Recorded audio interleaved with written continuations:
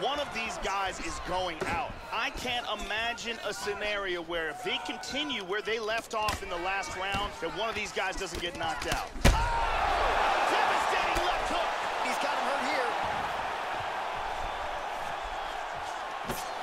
Oh, he might be out.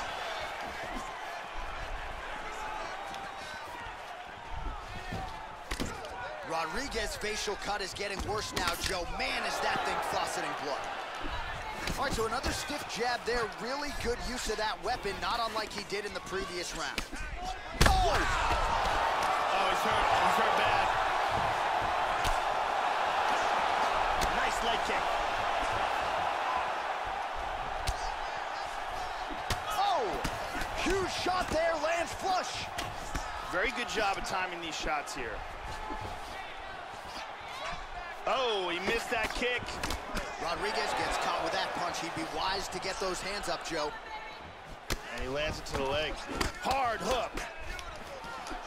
Really Oh. missed with that right hand. Oh. He's got him hurt here.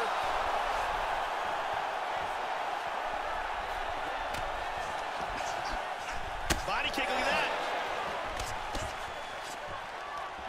Oh, and he continues to effectively employ that jab. We told you he had one of the best in the game. Looked like it did stun him a little bit.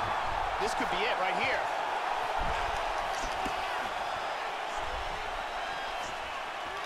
This fight is dangerously close to being stopped. Rocked him with that right hand. Working out of that southpaw stance.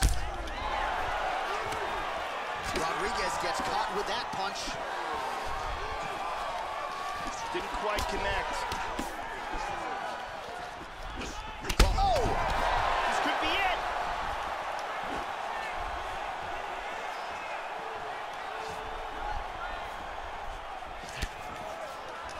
Straight right hand, no Nice good. inside Oh! leg kick.